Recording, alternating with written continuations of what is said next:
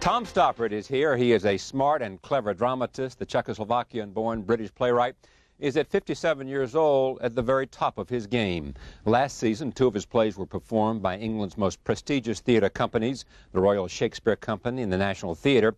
Indian Ink, his latest work, opened in London in February. Here in New York, the Lincoln Center production of Arcadia opens this week at the Vivian Beaumont, and Hapgood just closed on Sunday after two extensions at the Mitzigena Theater. All of that work from a former journalist and drama critic who captured our attention with Rosencrantz and Guildenstern are dead in 1967, followed by Travesties, Jumpers, Real Inspector Hound, The Real Thing, and many others. He has won three Tony Awards, and we're very pleased to have him here on the eve of the beginning of Arcadia at the Vivian Beaumont at Lincoln Center. Welcome. Thank you. Great to have you here. Uh, we've done this a couple of times, and it's always a pleasure for me. Tell me what Arcadia is about. Well, uh, for one thing, it shuttles between the 20th century and the early 19th century. It all takes place in a castle. In, no, not a castle, but it, takes place in one room. Room, right. In uh, one room in what we call in England a stately right. home, almost a castle. And it's about what happens inside this room and also what happens outside the room in the garden. And uh, I could go on for too long about that, but it, it, it's about um, romance and mathematics and landscape gardening and Byron. How's that? All right. How did it begin for you, this idea for this play? I'm fascinated about the process of how it comes out of your head and makes its way into the uh, mouths of actors. Well, theater is a double event. It's a, it's a text and it's an event, it's a hmm. happening. Mm. And uh, quite often, uh, the orig origins of a play um, they, they come from two different places accordingly. I like the idea of, of, of a play in which uh, the action switched uh, periods, perhaps by 100 years, 200 years, but the, but the room stayed exactly the same. That, so that, if you like, is a, is a sort of mechanistic idea. Yeah. It's a theatrical happening idea. The subject matter of the play really derives from an interest in the way we use terms like classical and romantic. We tend to divide um, even people and temperaments right, into right. the classical type, the romantic type. And um, as you know, in, in, the, in the history of uh, our culture, in poetry, in gardening styles, in painting, in all kinds of areas, there's something deemed to be classical and something deemed to be romantic think of architecture. Right. Um, these don't divide so neatly. I think the one partakes of the other. And um, that's all I had to start with, abstract as it sounds. That's what I kicked off with. And so you sit down and do what? That's a very good question. um, theater is a storytelling art form, and it really, really is. Years and years ago, I was in Iran. It was so long ago, it was called Persia. And I wandered out of the hotel and saw a crowd of people in the corner of the garden. And it turned out that they were all listening to one man telling a story. And uh, this was theater. There was this tiny theater happening, a monologue. I think that I think there's much more this year than 25 years ago, much more this year than the last time we met, which wasn't that long ago. I think that the, the narrative interest of this strange event is, now, is paramount. That's what I feel now. When I was a young man and full of confidence and didn't have all my present insecurities, um, I, I was confident enough to believe that if I, if I just juggled things around and put spangles on them, mm. the whole thing would be really interesting and entertaining for two, two and a half hours. And sometimes I got away with it. You could now, be clever with language and get away with it. Pastiche, parody, right. jokes, music, song, dance, intellectual ping pong, all that yeah. stuff. Um, it wasn't a calculation, Charlie. It was just what I liked. You, you, have to write what you like in the yeah. year in which you write it. And um, now I, I want, want to find good stories to tell, which, which is why I'm not very prolific, but I hope to be more prolific. Yeah, but I mean, so then you're saying Arcadia, because of its narrative, because of its storytelling, is a takeoff for you. It's a different place for you as a playwright it's not a complete break, but I think that the reason Arcadia has worked so well, touch wood, elsewhere, yeah. which I, and which, uh, significantly, I would include in foreign languages. I mean, this actually gets us to the nub of it. My stuff is quite hard to translate. Mm-hmm. Um, Arcadia has now been done in, in more countries more quickly than any other play I wrote. And I think it's because it works on a de- detective story level, quite Yeah. apart from all these grand things you and I have been talking about just now. But uh, the the note. Why did you you decided that you felt like it was necessary to to take off with the narrative form to explore these ideas? Because everybody, when they ro- talk about you, always says Stoppard is writing about ideas, and they will look at all the things that you have done, most of them, and say this was an exploration of this idea. Whether it's Hapgood and people talking about dual personalities and perceptions with spies as a metaphor, or whatever it is. No, that's still true. I, I do get um, stimulated, turned on, as we say, Yeah. by ideas. But um, you can't begin until you've got some kind of structure, situation, dramatic narrative. Context. yeah. Story. The Yeah. simplest word is best. And um, what I mean is that in the past, I, I just made do, I think, sometimes with a story. If, if, I, if I was lucky, I found one which worked reasonably well. With Arca- Arcadia, um, I found I sort of fell into one, stumbled into one, and fumbled my way through one, which, when I look back, really did work much better than I realized it was going to. And it alerted me to this perfectly obvious fact that Yeah. if, if the story works on, on a very simple narrative level of you know what Yeah. happened next and what's going to happen, then you are in a much stronger position to indulge yourself, if that's the phrase I'm looking for, uh, with all these interesting ideas which uh, fuel you to Mm-hmm. fill 100 pages with your writing. I have always assumed about you that this is more a question about writing plays versus other art forms, is that you wrote plays because it was the best place for you to express the kinds of ideas, to debate in your own head through your own characters, ideas that you were curious about. Yes. Right? Well, you know, a duologue is a perfect form for, Yeah. in which to conduct a dispute. Know, a dialogue is the best way to conduct a dispute or conflict of ideas. Dialogue is the best way to contradict yourself. Yeah, You can write right. both, Yeah. both Yeah, parts. right, right. Um, which I found uh, pretty useful because most of the time I didn't really know what I think until I've written the dialogue. And uh, then somebody can come up and overturn the apple cart as well. But yes, um, I didn't have to write plays. Um, uh, there were, you know, the idea of writing novels might be attractive. I did write one many years ago. I stuck with theatre, um, and I've never really turned around to, to ask myself, you know, why I made that choice. Part of it is um, just the fun of it. Yeah. Uh, it's a team sport. I really have a good time. You like the whole business of it. I do. The rehearsal, the, the, I do, the you know. staging, the sets, the and I love I like working with actors. Um, there's it's a, there are two stages to this. Uh, while, while I'm writing a play, I'm very private and very reclusive, really, and, and bad-tempered and absent-minded and all that, and I wouldn't dream of discussing it with anybody. When it's done and there it is on the table and there's all the actors sitting around the Yeah. table and the director, um, then when it's when, when oh I there's, there's a phrase I never heard in my life until we were rehearsing Hapgood, and I, I love it so much. We don't we don't use it in England because we're too polite. It's when the meat gets to its feet, and the, and, and so as as when the meat gets to its feet. well, one day the director of Hapgood, Jack O'Brien, Yeah. said something about let's get the meat on its feet, and I realized he meant we have to get up and start acting. Yeah. Um, but there's a point where um, uh, it's no longer enough to call it a text.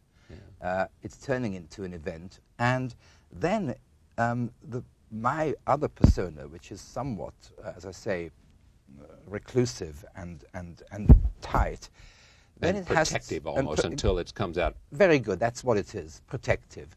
Then you have to lose some of that and get in amongst the, the dialogue with the actors. And even in the latter stages, uh, in London, I've got a play which opened about three weeks ago. I was sort of changing things around. Is this Indian Ink or yeah, Indian Ink. To, to fit in with the set design, you know, when things flying take a certain amount of time. And I like, I like, I like the way theatre is practical and pragmatic, and it's a concrete problem, not just an airy-fairy Mm-hmm. fine art form. Yeah, but the reason I ask the question, I hear all of that and, and understand that. But if you fall in love with narrative, might you then say, well, maybe I can translate this best in a novel? Well, there's some, normal certainly may lead itself to storytelling better than. Well, there. Um, look, there's nothing like it, is there? It's very. It's a dangerous sport. Uh, you can think of it as a novel, if you like, but all the readers are in in one room at the same time reading Yeah. it, and you have to listen to their reaction. Uh, the advantages, you know, the safe area is that they all get exactly the same thing, whichever night you give them the book. yeah. Theatre cannot be like that, will never be like that. And uh, we go through this slightly silly thing uh, right now in these final previews where, Yeah. you know, there's on a given night, a given critic is out front, and, you, and, and there's, there's 10,000 moments which turn into this three-hour play.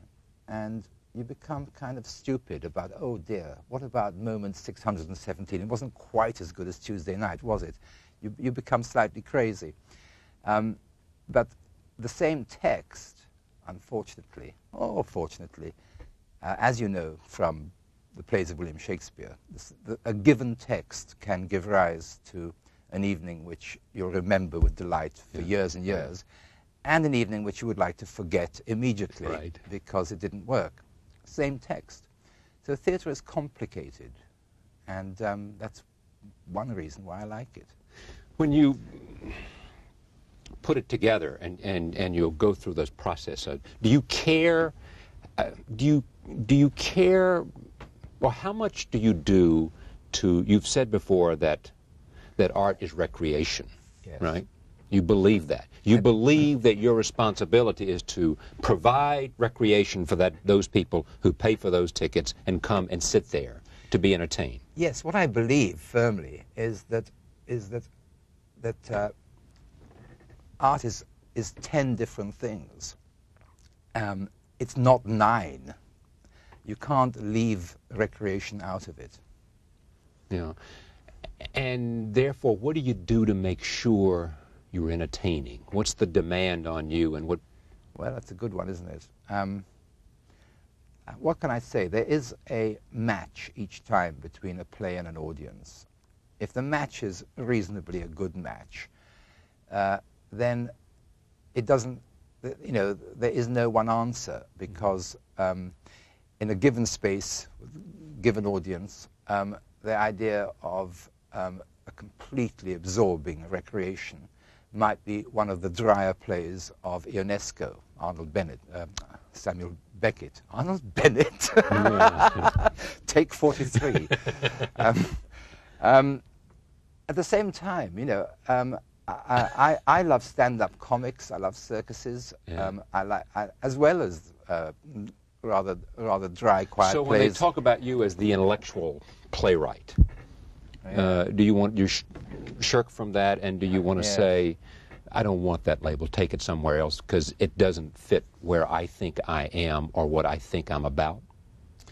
Well, I think it's a pity that theatre, um, you know, has uh, such a low estimation of itself that a play which just touches upon what you might call intellectual subjects instantly uh, means that the, the, writer is has has the intellectual label attached to him.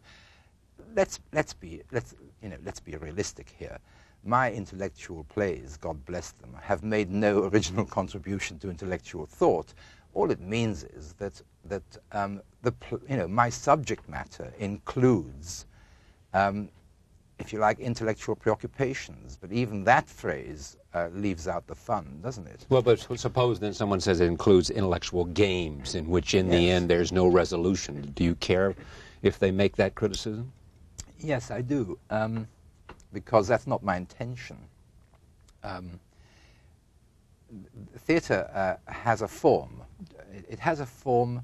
A play ha- has a form as inescapably and as necessarily as architecture has a form. You, you simply can't just, uh, you know, build f- just just build for two hours and forty minutes and then stop halfway through this turret. I mean, theatre also has an architectural form, and, and the writer is attempting to make it into this form.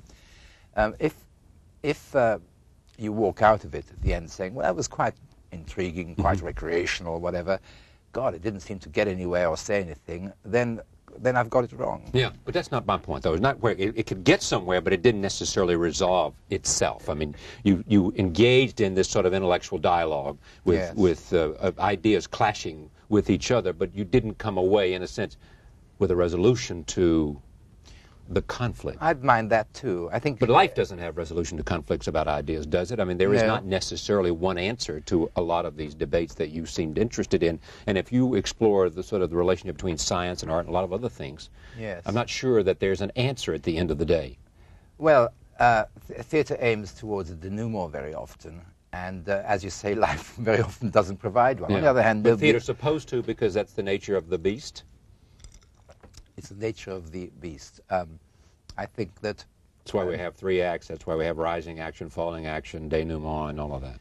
but isn't that true of music and painting? Um, a, a, an artist doesn't, you know, paint a canvas and then you, you don't go in and say, "I think I'd like a yard and a half, please." yes. uh, that's not that's that that would say the form doesn't matter. Um, life doesn't have form in the new denouement, but then on the other hand, you know, we're not asking to pay forty-two dollars to go and sit and look at life. It's only to do it for theatre. Speaking of that, uh, you're at the uh, at, Kennedy, at Lincoln Center. Yes. You, would you want to be on Broadway? Would you want to take that risk, say, with Arcadia? With Arcadia, well, three or four producers did ask me to take that risk. I say take that risk. They were assuring me there was no risk at all. I mean, because they could sell it out for six months or a year, Because or they were- orders and all that. because they were producers. They say métier. yes, That's it. Um, to sell playwrights on the idea. and and um, I, I'll tell you, I, I- I think that that um, I got to a point where I wanted to have a, a four or five month success rather than a 10, 11 month failure. I, I just like the idea of being in a theatre where, where the commercial pressures didn't exist in, in the same form. Lincoln Center is a it's a unique place in, in, in New York City Yeah. in the American theatre, indeed. Um, I have friends who've worked there. I, I, I knew of it, and I knew it first and second hand as being a, a very um, sympathetic Yeah. place for a writer to be. And um, I like I like being there. Um, it ha- there's a good side and there's always a downside to everything. Um, I personally like theatres with proscenium arches. What's the downside then? Well, it's not a downside, but but Lincoln Wider Centre's audience, more money, or what? what's the downside of? What? Uh, mean, well, go ahead. I mean, you said there's an upside and a downside. Well, I'm telling you. Okay. I'm, I'm the. I, I, I, this is. This, it's not. It's not a downside. It's just a fact of life. Um, uh, I tend to write for the Proscenium Arch, which is a picture frame theatre. It's because everything I write turns out to have to work one way or another on some comic level or another. Uh, when you write comedy, it's very tough if uh, if uh, not everybody in the audience has got exactly the same view. So it's a challenge and a problem which Trevor Nunn and the company have in fact solved very successfully in the case of Arcadia. Trevor Nunn being your director. He's the director of Arcadia. Uh, and um, I wouldn't have chosen um, to be on in an amphitheater with a wraparound audience and an apron stage. Now that it's happened and I've seen it, I'm pleased, but I was nervous, I must admit, because I subconsciously always see this picture frame when I'm writing, and these little figures are moving around, yeah. and there's only one view of the show. Um, and that's not true in many modern theatres. As you find yourself growing older, you're 57 now. I am. Uh, do you do you find yourself more more more oriented to risk, more oriented to new directions, as this is, as you said, in terms of his narrative form, or less so, or less willing to Uh, take chances, more afraid of failure, less afraid of failure, fearful? uh, from from inside here, nothing changes. Um, when I when I look at my plays uh, over the last 25 years and more, or when somebody else might look at them, you could say, oh, you know, more risk, less risk, change of this, change of that.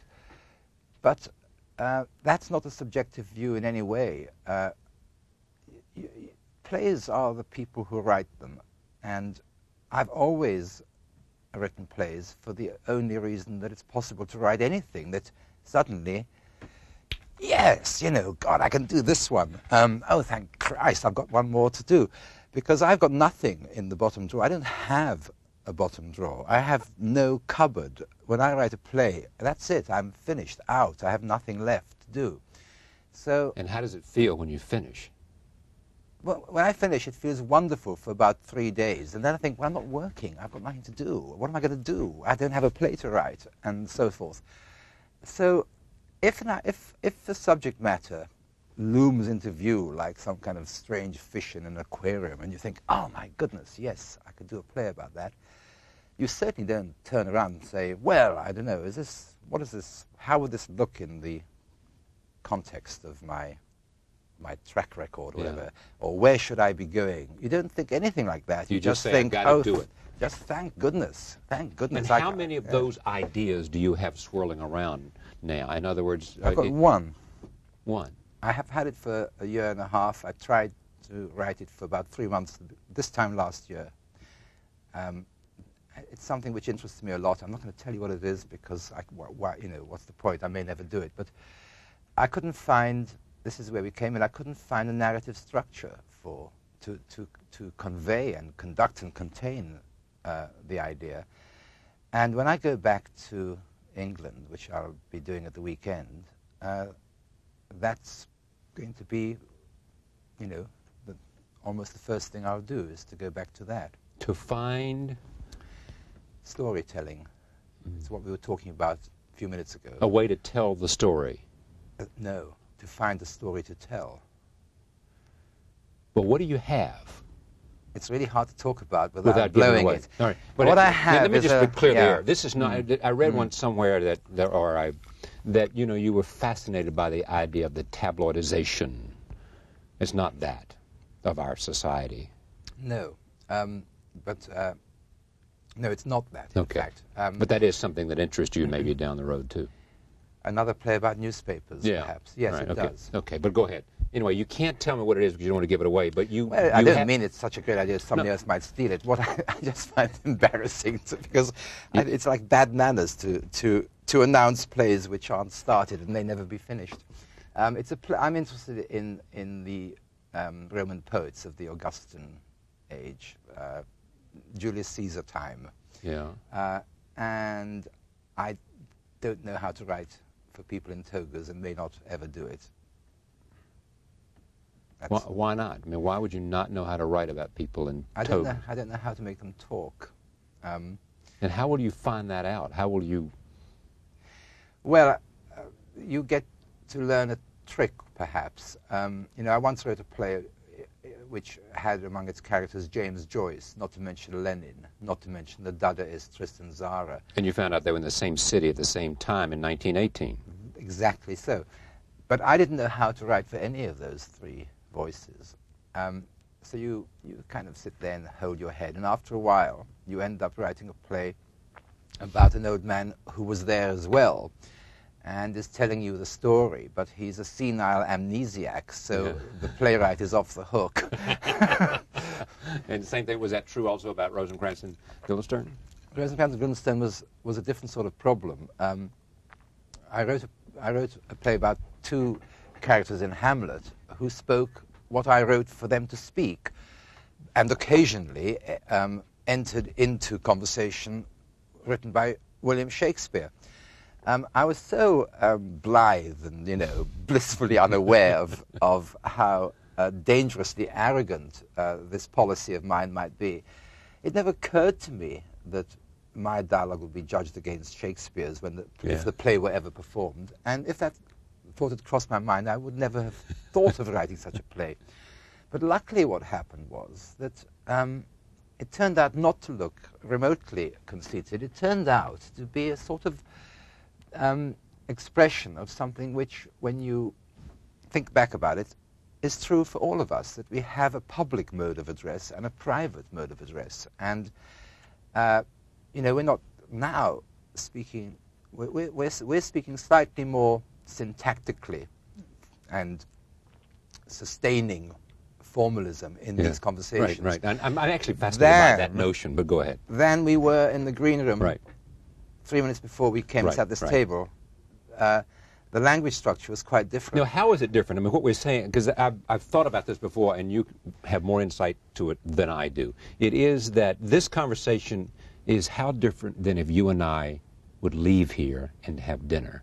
Uh, give me one example. When we walked in, we sat down. I said to you, "What do you think of the O.J. Simpson business? Are you interested in it?"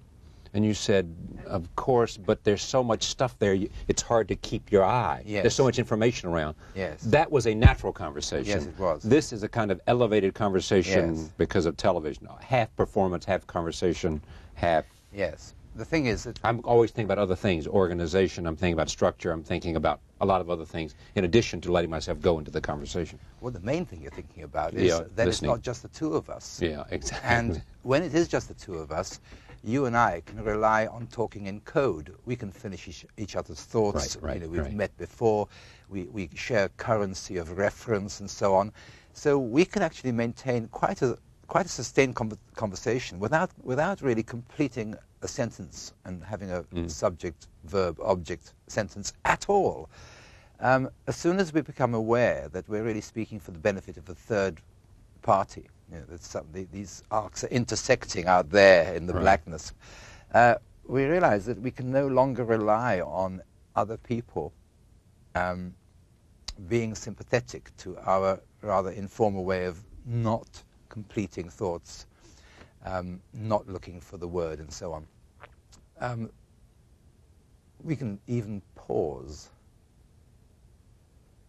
It's your turn. See, uh, actually, that you can use that too. I mean, the, the notion of you can. I sometimes will pause to say it's your turn uh, in order to generate what I think may be a more natural reaction Yes. from you. Well, I, I think that, that there is uh, an internal contradiction in the writer interviewed. I, I think that writers and talkers uh, are two different kinds of animal. And uh, I never, I never feel um, that talking about the work is a natural extension Of the work. of the work. It's a, it's uh quite an interesting uh, hobby or or courtesy perhaps, but it's it's certainly not necessary to it, and possibly slightly corrupting. Um, there's something healthy about protecting yourself from any sort of self-awareness, uh, let alone self-analysis. Um, I don't believe in automatic writing at all. What's, I- automatic writing? Automatic writing is is uh, uh, it, it's a fad which has passed, but there's a certain there's a certain uh, possibility of subconscious creative writing where you're really not trying to think. You're you're writing in a trance, for example, um, or the you know as Tristan Tzara would draw words out of a hat and writing by chance and fate and coincidence and so on. I think that, that writing um, art, and uh, I'm a very conservative person when it comes to my views on art, I think art um, is essentially a formal attempt to um, bring some order uh, out of the universe into another medium. Um, so I do feel that um, that the subconscious uh, has to be the slave of the conscious, of one's consciousness.